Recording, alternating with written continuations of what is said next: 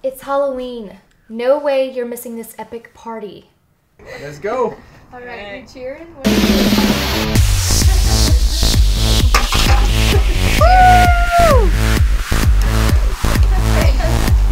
Who was he? He hot? He's an idiot.